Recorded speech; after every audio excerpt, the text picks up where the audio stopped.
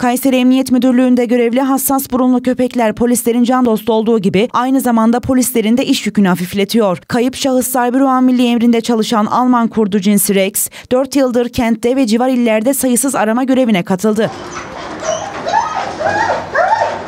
2018 yılında göreve başlayan Rex, kayıp kişiye ait elbise, diş fırçası, kemer ve benzeri kişisel eşyaları koklayarak göreve başlayan Rex, çevre ve hava koşullarının uygun olması halinde 48 saate kadar arama yapabiliyor.